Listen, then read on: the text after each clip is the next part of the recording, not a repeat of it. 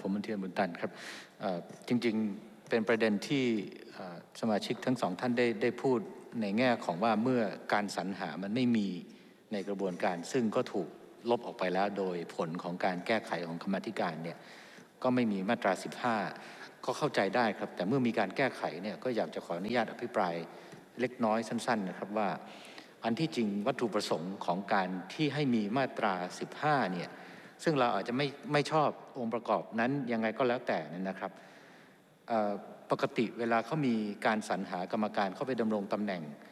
แล้วมันเกิดปัญหาขึ้นเนี่ยส่วนใหญ่แล้วเนี่ยมันจะเป็นการสรรหา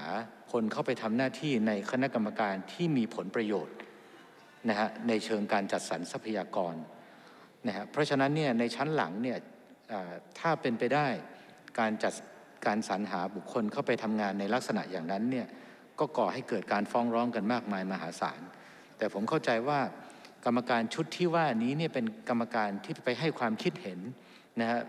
เพื่อวางมาตรการวางหลักในการที่จะป้องกันและปราบปรามการกระทำที่เป็นฐานความผิดทั้งตามกฎหมายฉบับนี้นะครับ เพราะฉะนั้นการฟังความเห็นที่หลากหลายเนี่ยมันเป็นประโยชน์ และมันก็เลยเป็นที่มาของการมีวงเล็บ 4 ในมาตรา 14 มันก็เลยเป็นที่มาของการมีคณะกรรมการสรรหา ซึ่งก็เป็นที่น่าเสียดายที่กรรมกรรมาธิการท่านได้กรุณาตัดออกไปแล้วนะครับ ขอบพระคุณมากครับ